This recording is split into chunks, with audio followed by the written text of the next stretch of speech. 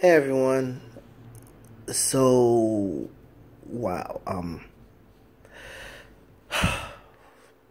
So last night we lost Yosuke Natsuki.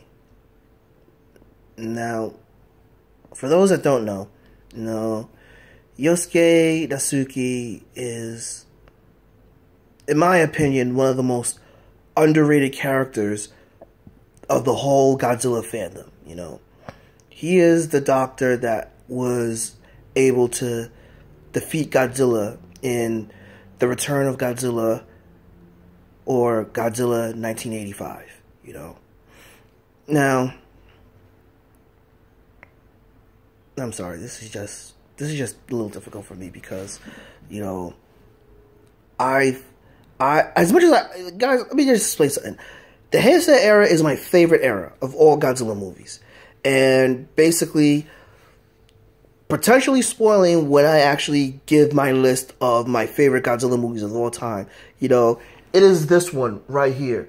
You know, it is you know, basically it says Godzilla 1984, The Return of Godzilla, but you know, I I put Godzilla, The Return of Godzilla, and Godzilla 1985 in the same league, and I know that's controversial, but you know, those are my that's this is my favorite Godzilla movie of all time, you know, and um, and one of the things that always irked me about the Heisei era is that basically Sensei Makoto Hayashida never got to be seen as the leader of G-Force or the lead scientist of G-Force. And, you know, that always burns me, you know, and it always burns me that when I, whenever I hear people reviewing or talking about this particular movie and saying that it's not essential Godzilla watching, I personally get offended by that because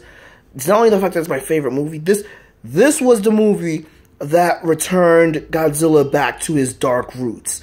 This was the movie like Godzilla ended up having like a kid friendly, you know, image, you know, that veered away from the original movie and this was the movie that brought it back. And top it off, this was the movie that brought back relevant themes that was happening around the world, you know.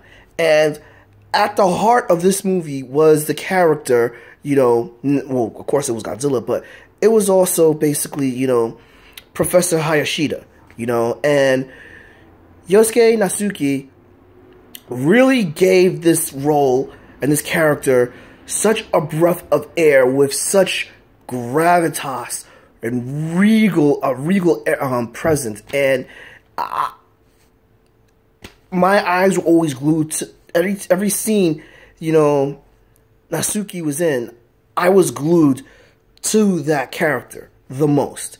And it's actually, you know, it was, it was actually Dr.